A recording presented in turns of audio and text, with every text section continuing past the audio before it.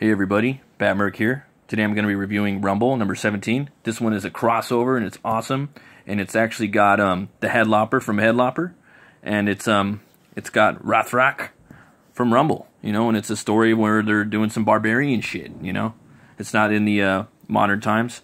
And um, Andrew MacLean draws part of it too. So you actually have the Headlopper artist drawing the crossover or part of it, and it's pretty cool. Let's check it out right here. Uh, it's it's gonna it's called uh, Belly of Hell, and there's actually uh, three three stories in here. Um, yeah, and they basically, uh, you know, Headlopper gets uh, eaten up. He falls into the belly of the beast, um, and he meets Rathraq, and they're in there, and they're you know they become buddies, and they got a lot in common.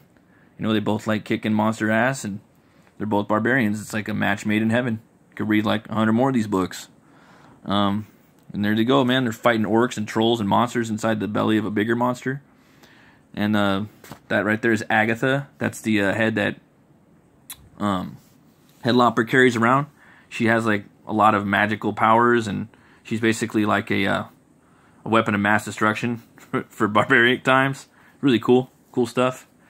Um, I don't know if you guys are familiar with Headlopper, but if you're not, it's like a cross between Conan the Barbarian meets Mike Mignola or Hellboy. It's like a cross between Hellboy and Conan the Barbarian. And the, the, the art style is really fun, and it's very kinetic. And the, the way the guy orchestrates his uh, panels, when you read it, it, it takes a minute to get used to, but once you get into it, you are like, oh, okay, I see what this guy's doing. You know, I, I see how he flows. He puts these like arrows in here, and uh, kind of takes you to the, the panels. But uh, he really shows off a lot. He really shines in his own book too. Like I, I can't really this this one's it's awesome. Don't get me wrong, but it doesn't really give uh it doesn't really um do Headlopper justice. But look at that, slicing and dicing. Yeah, you, you definitely got to check out the Headlopper books. I'm gonna have to do some reviews on those.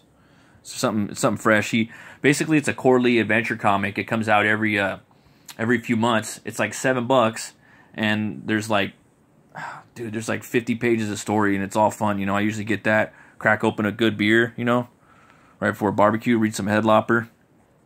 And the, the the guy MacLean that created it, he's got his own world, you know. It's it's really it's really cool. Um, yeah, let's get some more in here.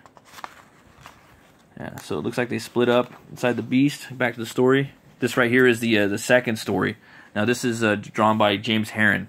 He's a really cool artist too. One of one of my favorites. He started the Rumble uh, comic with uh, uh, John Arcudi, I believe his name is, um, a few years back. And basically, if you guys aren't familiar with Rumble, it's um, basically this scarecrow that has this barbarian warrior god, this guy right here, Rathraq, trapped in him in modern times. So he's going around the city and he's fighting these these demons and monsters from from a, a, a era that was long past. And so they're they're reincarnated into these other humans or disguised as humans, and he's you know it's a scarecrow warrior god fighting all these crazy monsters. But sometimes there's flashbacks, which I really like because it reminds me of the Maxx a little bit, um, where they go back to the era when he was around and he was you know basically like a barbarian god slaying monsters the, the way you see him here.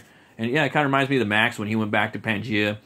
Um, he's not really homeless, but he uh, he's you know he's definitely a scarecrow um, but it's just it's, it's it's a really cool book. You know, you always have something new and fresh to look look forward to. Uh, right now, it's being illustrated by David Rubin, um, and it's that's a really cool book too. And they always have like some nice fan art in the back. So definitely, no, I'm getting off topic, but definitely check out uh, both these books.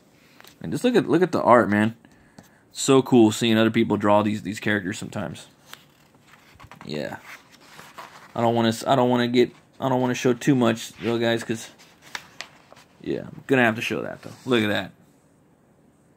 Look at that. That right there, that's the money shot. You got Rathraq, the Rumble.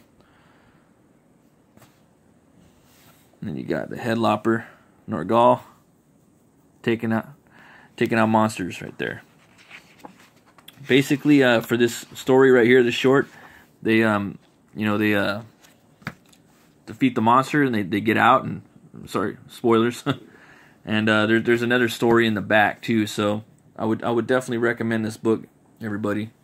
If you if you like you know Conan the Barbarian, you like Hellboy, um, you like uh, kind of like brooding, like like urban, like kind of dark, uh, book uh, books kind of like I don't know. They, they said it was like a Fincher story, kind of like Seven, like a Fincher feel to it. Someone was saying that in a review of, of Rumble a long time ago, but it's kind of dark, like you know, cityscapes with uh, you know, with with with the cool characters and, and monsters and stuff. Then you'll like you'll like Rumble too, so you'll get a little bit of that. And then Headlopper, again, yeah, Conan and, and, and Hellboy, you're gonna you're gonna love it too. So yeah, I definitely uh, recommend this, folks. Rumble, um, number seventeen, I give it two horns up. As always, folks, thanks for watching hit that like button, subscribe, and as always, we have new content here on Metal Movies and Brewskys. Have a good night, folks.